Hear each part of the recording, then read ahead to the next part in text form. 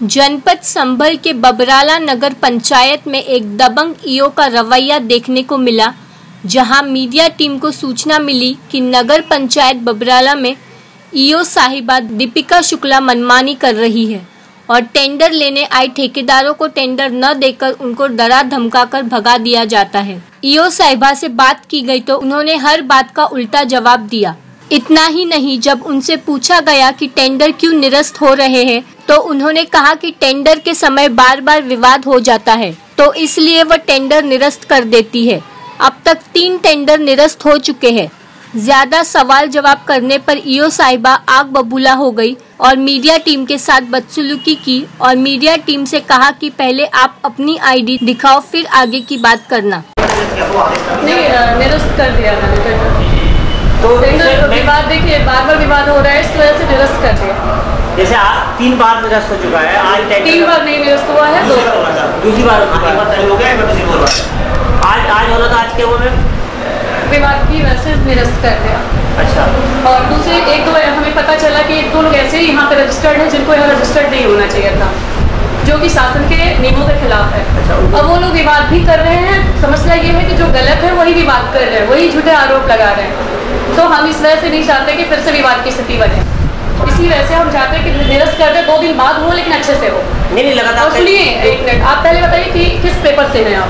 तो आपका जानने का है आप हमारा जानते हैं तो हम भी तो आपका जाने। नहीं तो मैम चलो आईडी दिखाई देंगे। पहले दिखा दीजिए लगातार भ्रष्टाचार का आरोप लग रहा है कि आपने पैसे लेकर दूसरा टेंडर दे रहा है। ठीक है एक मिनट। हाँ। आरोप तो ये लगता है कि हमने मर्डर किया है उस चीज़ को सिद्ध किया जाए हमारे पास हर चीज़ का लिखित जवाब है। अच्छा। ठीक है?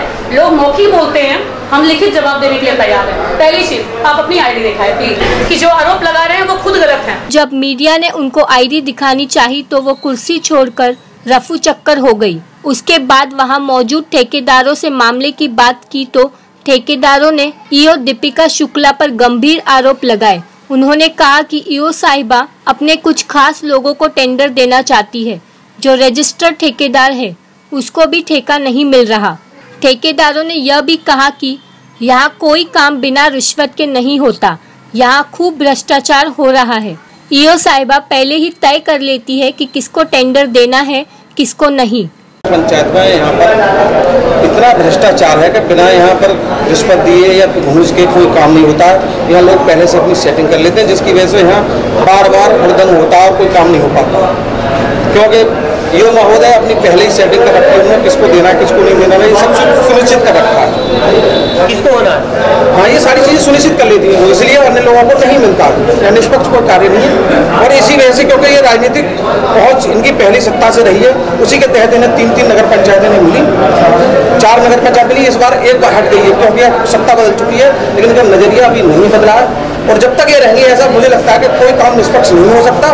और क्योंकि भ्रष्टाचार इनका इतना है कि कि अगर जाँच की जाए तो इनकी सैलरी इतनी नहीं है जितनी कि इनकी सुख सुविधाएँ ये भोग रही हैं। यही मैं कहना चाहता हूँ। और बहुत सी बातें हैं। वो आगे ठेकेदारों ने यह भी कहा कि मैडम की राजनीतिक पहुँच पिछली सरकार से रही है इसलिए इनको तीन तीन नगर पंचायत दी गई है। उन्होंने कहा कि अब सत्ता बदल चुकी है मगर इनका काम करने का नज़रिया नहीं बदला। भ्रष्टाचार यहाँ पर इतना है कि इनकी तनख्वाह इतनी नहीं है जो ये लग्जरी कार में घूमती है। इस बारे में ये है कि मतलब इन्होंने टेंडर मैनेज कर रखे हम लोग अगर मतलब कहते हैं कि टेंडर ओपन करो कंपटीशन कराओ या जो भी करें आपस में बैठकर ठेकेदार करें इसमें कोई प्रशासन अधिकारी किसी का मतलब हस्तक्षेप नहीं होना चाहिए। अभी दो बजे दो बजे तक का टाइम था उसके बाद हम तो ग्यारह बजे से बैठे हुए हैं। ग्यारह बजे से टेंडर मांग रहे हैं और लगातार पैसे दे रहे हैं। टेंडर की कीमत जो बनती है लेकिन टेंडर मैंने सब मना कर यहाँ मैं रजिस्टर्ड ठेकेदार हूँ यहाँ का नगर पंचायत का। मैं पीडब्ल्यूडी में आर में जिला पंचायत में काम करता हूँ। सारे रूल्स मुझे मालूम है। क्या रूल्स हैं?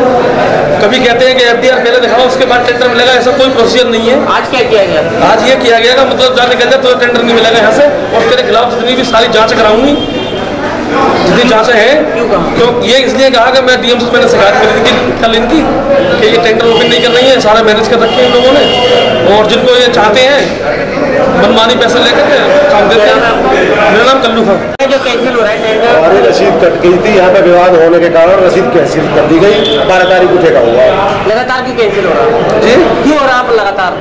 और पता नहीं है कि विवाद हो जाता है जब भी आते हैं तब विवाद हो जाता है नया पैदा नई नई नई बातें पैदा हो जाती है। योगी की सेटिंग है क्या किसी उसमें मुझे तो लग रहा है कि यूपी ऐसा लग रहा है कि आगे तक सेटिंग जैसा ही मामला लग रहा है तो सेटिंग भी क्या है।